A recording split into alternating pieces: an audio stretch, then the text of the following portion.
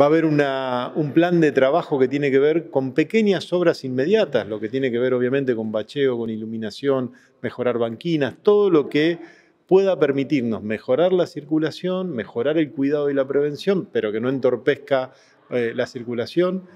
Y obviamente lo más importante y lo que nos interesa a todos, que es resolver que en estos últimos años este, donde ha cambiado la dinámica productiva, pero no se ha modificado la infraestructura disponible, hay una clara decisión del gobierno provincial de avanzar en ese sentido, así que vamos a ir por las obras de fondo que son necesarias y en esto es lo que estamos trabajando en conjunto todos los estamentos nacionales, provinciales, comunales, para eh, poder este, tener un proyecto definitivo de intervención en distintos puntos para poder este, mejorar definitivamente esta situación. Obviamente con esa problemática que la, vive la región y la vivimos todos los que transitamos este, los distintos caminos para llegar a Santa Fe.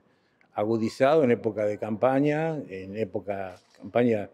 de cereal, digamos, y bueno, y con situaciones puntuales, pero que la problemática es común. Así que creo que el gobierno ha recogido esta problemática, por eso hoy están dos presidentes comunales de, de la región que tienen tienen el problema ahí y creo que nos vamos eh, con una posibilidad de avanzar rápidamente. Eh, el viernes se va a hacer una nueva reunión y donde se van a, terminar de acordar lo que yo no quiero hacer el que haga el anuncio porque lo tiene que hacer el gobierno, pero me imagino que a la brevedad se van a ver concreciones sobre esta problemática que